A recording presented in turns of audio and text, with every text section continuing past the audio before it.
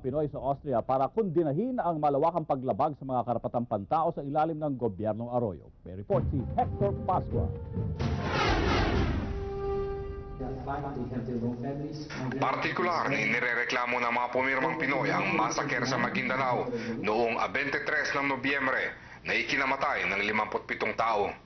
This includes the 57 people who died in November 23, wherein a Muslim clan, yung Ampatuan, that was then closely allied to President Gloria Macapagal Arroyo, allegedly carried out the murders in Maguindanao province. Nangangamba ang grupo na lalong tataas ang kaso ng human rights violation sa Pilipinas ngayong papalapit ang halalan. dapat sanang mangyari sa ating bansang Pilipinas.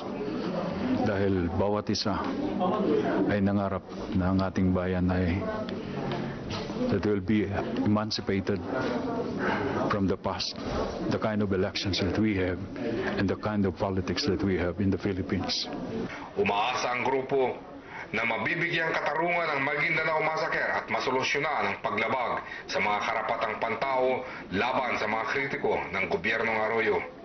Maaari ring pumirma ang iba pang Pinoy sa petition letter sa online platform ng grupo. Para sa Balitang Europe, Hector Pasco, Vienna, Austria.